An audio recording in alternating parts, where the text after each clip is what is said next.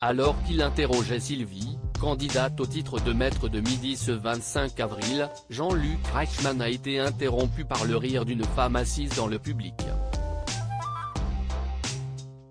De quoi faire réagir l'animateur adepte de la dérision, qui s'est dirigé vers la spectatrice en pleine crise de rire.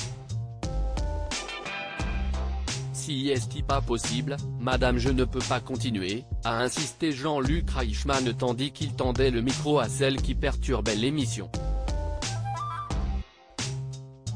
Toujours pas remise de ses émotions, l'intéressé a d'abord été incapable de répondre.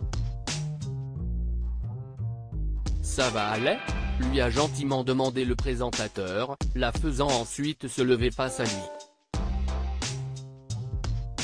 Il ne fallait pas plus pour relancer son rire, entraînant avec elle ceux du public, hilar.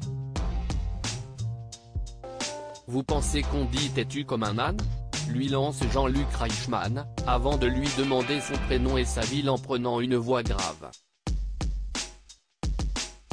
J'adore ce prénom Eliane, dit-il, faussement intimidant.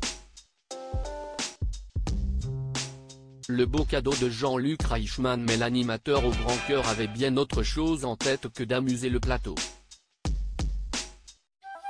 Si est juste pour vous dire que vous êtes mon invité permanente aux 12 coups de midi madame?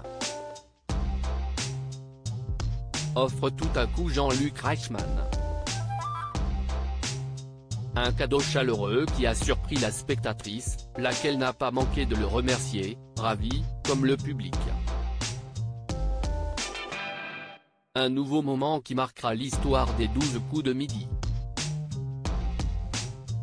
Loading Widget